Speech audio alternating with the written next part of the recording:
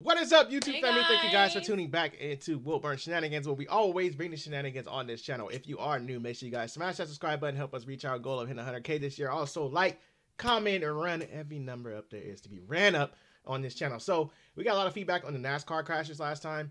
Um, it was our first time like watching some stuff like that, and there was a lot of people saying like, "You think that's something? Go to Formula One." And I am familiar with the Formula One car, like at least what it looks like. So I can only imagine because aren't their heads like outside of the car? Like, What's the what's the one that um that you and Rylan watch um on YouTube where it's just like the two lane but they crash a lot too? Oh, just those look like quarter miles, and they just a straight race. Oh, It's like a quarter mile those. I um we just found out that they're doing it in our town now, so I think I Well, we have a racetrack here. I don't know if you guys are familiar with Bakersfield. We have the Famoso. I know a lot of guys come here, like from local towns around us. Like LA for sure come here and race here. And I know other cars, but if you are But, like, familiar, our we do have a big track here that Yeah, our son literally will be on YouTube all day and watch those. What is it called? Those Quarter mile. The quarter mile races. So like, he'll him and Todd they'll like bet like what car's gonna take it, and he even does the the diesels. I didn't even know diesels race, It's crazy. It's and we were just shook. And I was like, what? yeah, but uh, the Famoso track here is very popular. We haven't went. I haven't been to it. We drive by it all the time because it's a lake. Me and my dad go fishing at. That's right there, so I see it all the time. But I would love to go see that. But let's dive into this one. I'm a little nervous on this one because, I, like I said, their bodies are outside of this one. Their bodies are outside. What do you mean? Like their little bodies are like up here. You see little oh, heads. those. And the roll hoop and the So they don't have halo very it? much doing its job before the car digs in. And you do not ever want to see accidents like that. Welcome to WatchMojo, and today we're looking at the 10 worst crashes in F1 history. Big fire there as they exited out of turn three, and that looks very nasty indeed. And unsurprisingly, that is a red flag. For this list, we're looking at the most devastating crashes to take place in F1. Sadly, because some of these crashes resulted in deaths. A content warning is now in effect. Which of these crashes had you covering your eyes? Be sure to let us know in the comments. Lorenzo Bandini at the 1967 Monaco Grand Prix. At the 1967 Monaco Grand Prix, Lorenzo Bandini was trailing in second place behind Denny Hulme when he lost control of the vehicle and crashed. Now Bandini. Bandini's crashed. Wait, where did it even come from? Look at that. Wait, The go car. back. Go back. It looks like It it's happened too upside down, You're not Phil. gonna see The car It's like they, they probably skipped in this second scene place because they don't want behind you Oh, Denny yeah, Hulme yeah, okay, when he lost right there. control of the vehicle and crashed. Now Bandini. Yeah, they Bandini's probably crashed. this so you on YouTube. Lord, look at that. That's The car. crazy. It looks like it's Wow, upside down, flames. Phil. The car flipped and its fuel tank broke, which resulted in the car bursting into flames. Marshall struggled with rescuing Bandini as the flames constantly grew and made the task all the more difficult. Although Bandini was eventually pulled out of the vehicle, he had still sustained third degree burns. He was taken to the hospital, but sadly, he passed away three days later. I was He just was gonna say, 31 years of came out with age. his burns. 31? Gilles Villeneuve, the 1982 Belgian Grand Prix. Near the end of the qualifier session of this edition of the Belgian Grand Prix, Gilles Villeneuve aimed to improve his position and lap time, so he attempted to cut another racer. There was clearly confusion as to which side he should complete the maneuver. He went right and hit the vehicle he attempted to pass. Villeneuve's car flipped several times, and the subsequent impact was so devastating, it resulted in Villeneuve being launched out of the vehicle. Oh my He was rushed to the hospital, but hours later it was announced that he had passed away. Jules Bianchi, the 2014 Japanese Grand Prix. In F1 races, one crash often leads to another, but none have been under such unusual circumstances. During a lap of this race, as a result of weather conditions, Sauber's Adrian Sutil would go off the track and hit a wall. A crane was used by marshals to remove the vehicle. During the removal process, Marussia's Jules Bianchi wound up driving directly Oh, into the crane. He was unconscious How? and was subsequently placed in intensive care. He later passed away as a result of the head injuries he sustained during the accident. He will be much missed in the Formula One paddock. he flew in Ronnie there. Oh Peterson, oh the 1978 Italian Grand Prix. Crashing the vehicle he was meant to drive at the race during a practice session, Team Lotus's Ronnie Peterson was forced to drive an older model instead. Along with his vehicle facing technical difficulties, the main race began as the flag was dropped before all the cars were in their respective positions. The ensuing havoc and confusion caused by the error resulted in Peterson's vehicle colliding with a McLaren driven by James Hunt.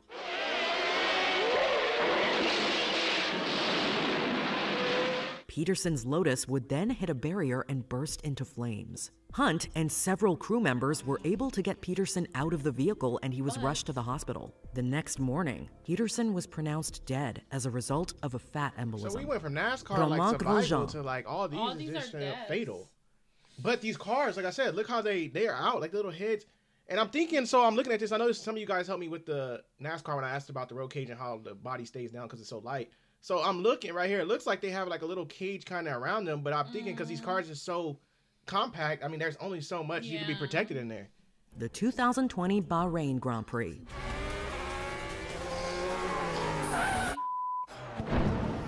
During the first lap of this race, into? Romain Grosjean's vehicle clipped Daniel Kvyat's AlphaTauri's left front wheel. Grosjean's car was sent reeling and crashed into a metal barrier. It was sliced in half and caught on fire. That's extraordinary. Yeah. Just the like, car if I'm being honest, it's gone through the. do you know like how probably haunting that is to know that like I mean I'm pretty sure it's not on purpose, but like that your car caused this. Oh yeah, I'm pretty like sure. he it's- lived and he controlled his, and then you see yours, the other person just go and die. Like I feel like I feel I feel like I feel like it's like they hold that. I'm pretty sure. Yeah, I mean, and then too, like they know what they're doing, like what it comes with. But at the same time, still, you gotta live with that. Like, yeah, Yeah, like you, yeah. That's Barrier, you see, the car's gone like, you know, through the barrier. Despite all odds, Grosjean was able to remove his race boot, escape the vehicle, and ultimately save himself. Surprisingly, he left relatively unscathed, having death. only suffered minor burns and spraining his left ankle. Having video only right been here. inside the vehicle a mere 28 Whoa. seconds after the crash had occurred, it is truly a miracle that he survived and was able to escape an almost certain fate. I thought about my kids and I said, no, I cannot die today. Alberto Ascari, Aw, are their suits uh fireproof? Mm-hmm. Hmm. the So that's why it's just his hands? 1955 Monaco Grand Prix. Trailing behind. Stirling Moss in this race for the like lead. Alberto Ascari was in luck when the engine of Moss's Mercedes broke down. like the little Hot Wheel. opportunity to take the lead, however, was missed, as Ascari's vehicle swerved out of control, crashed through a barrier, and directly into the Mediterranean Sea. Ascari has overshot the chicane. The car has somersaulted straight into the harbour. The car sank, but fans breathed a sigh of relief when Ascari appeared on the surface. He was subsequently rescued and hauled out of the water. A motor launch has picked Ascari up, and he is brought over to the harbour side where an ambulance is waiting. Despite the harsh nature of the crash, Ascari came out of the whole ordeal with a broken nose and some bruises. Ooh, look at his Wolfgang von Trips, the 1961 Italian oh Grand Prix. gosh. On the second lap of the Italian Grand Prix race in 1961, two cars on the track came in contact with one another. While one of the cars, driven by Jim Clark, came to a halt, the other, driven by Wolfgang von Trips, was spinning out of control and struck a section of spectators. Oh, that 15 of is spectators. I was wondering. I was von like, dang, is Trips that a- was thrown out of the vehicle and did not survive the accident. Despite this horrific sequence of events, the race continued, and Von Tripp's teammate, Phil Hill, went on to win the race. Some drivers only became aware of the crash and its severity after the race, leaving many Oh, so to question didn't know. why it had not friend been did. stopped. Niki Lauda, the 1976 German Grand Prix. One of the greatest and biggest stars to ever get behind the wheel. This Austrian legend was involved in one of the most horrific accidents in F1 history. During the second lap of the race, out of nowhere, Lauda's car swerved out of control and caught on fire. Several drivers and staff assisted in pulling Lauda out of the vehicle, but despite escaping, he received severe burns all over. and the initial prognosis was that he had little chance of survival.